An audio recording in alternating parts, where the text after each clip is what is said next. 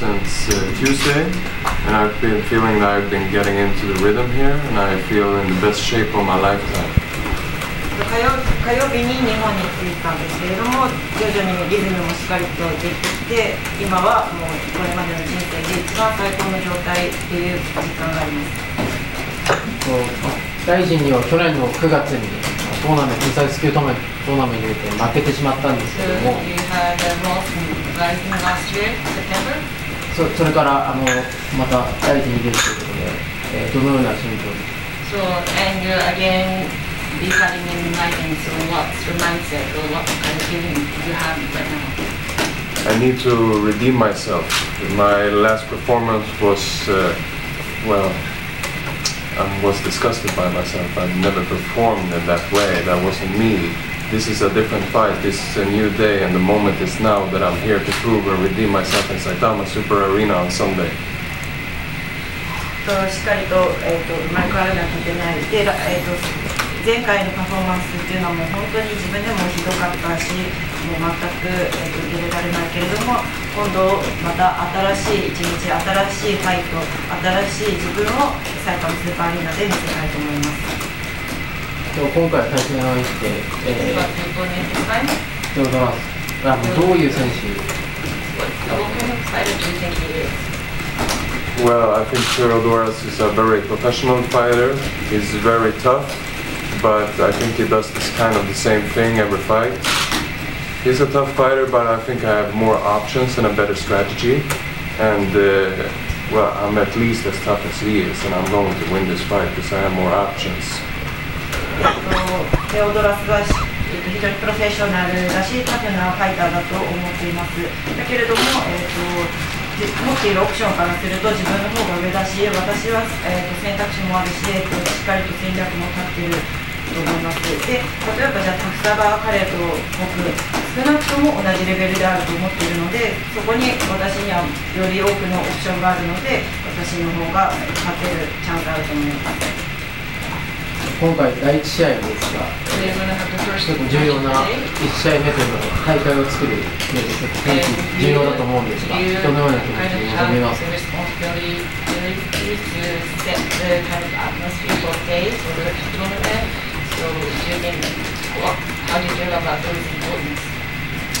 ？I know what the task is, and I feel honored. And uh, I'm going to complete it and bring a good show for Sunday, and I'm going to set a good pace for the rest of the car. 自分に課せられたタスクっていうのは理解していますしそれをすごく光栄名誉なことだと思っていますで私はしっかりとその任務を全うして、えー、と素晴らしいショーを見せて、えー、とその日日曜日一日の素晴らしい一日大会になるようにペースを作り上げたいと思います。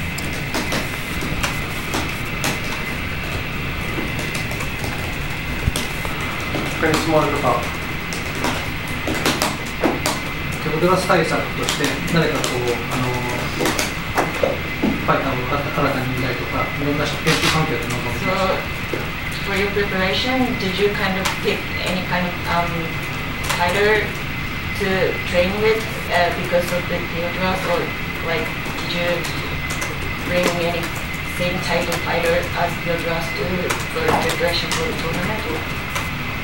do you did such a thing? I am not uh, been bring in a specific fighter, but I have sparred with a lot of boxers. I've been training with Jimmy Manua, Alexander Gustafsson, Ili Latifen, the top MMA layer in Sweden. And those are just two top UFC guys. So I've been having a very good sparring sessions with them, and I feel more than ready and more than confident that it will be enough to win this fight.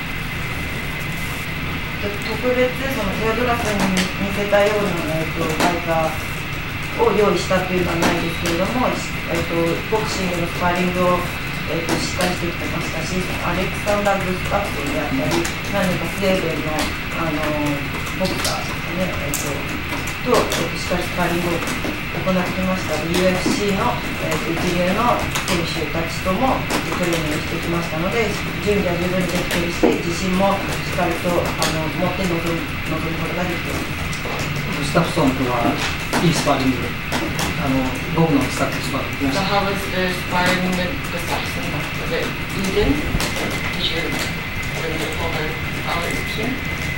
It went very well. It went very well.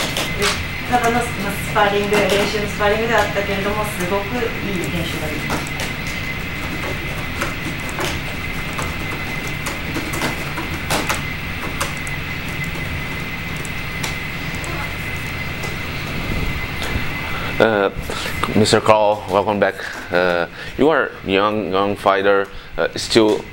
uh, try to learning uh, about combat sports and competing also too. Uh, fighting against a guy like Theodoros, is I think is a little bit different because his fighting style is it's a little bit different. Not normally you saw in another fighters. He's a counter punches and try strong, but uh, we never saw he competing on the ground. I, I guess, especially in rising. Uh, ho- do you think he he's prepared to face your your grounding grounding skills because you know you have a strong ground skills,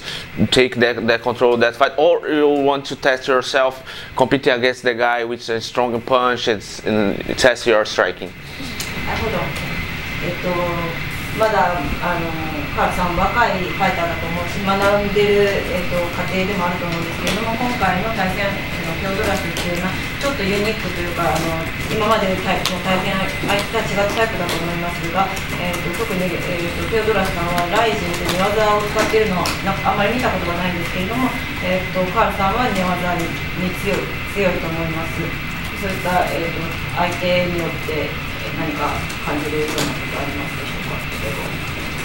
Theodoras is an MMA fighter, and this is an MMA fight. I have no fear to stand up with him as the aim as he has no fear to go to the ground with me. We're both complete MMA fighters, and we will display a complete MMA show on Sunday. えーテオドラスも MMA のあのれっきとしたファイターですし、私もそうです。なので、えっと寝技がどうとか、えっと立ち立えっとスタンドがどうとかっていうのはない。 もう私たちは2人とも完璧な MMA ファイターなので、何がどうとかいうわけではなく、お互いあのしっかりとプロの試合したいと思います。 Uh, my last question is: uh, You you come to Japan a couple times. Uh, what what's it's uh, your impression about all this experience you you have too in Japan, uh, and with the fans and also with the culture and the people? Uh, do you think it, it's it's a different than the, the than uh, co- comparing in, with uh, another countries you visit? えっと日本は初めてじゃないと思いますけれども過去の経験から、えっと、日本のファンだとか文化だとかそういった印象 それがあのまたそのそれは他の国と比べていかがでしょうか It feels much more respected here as an art form and more sacred practice than all across the globe. That all across the globe it's a sport and oh we do it for blood. Here is different. Here it's about honor and uh, history and legacy. It's different here. Different kind of respect. えっと、日本では非常に敬意をあの 敬意を表してくれているのも感じます。で世界のどの、えーと国ともその扱われ方が違いますしそのスポーツこの競技の扱われ方も違うと思います。なので、えーとすごく名誉を感じますし、えーと日本のその格闘技や、えー、と歴史も感じるのですごくリスペクトされているというのであの全く他の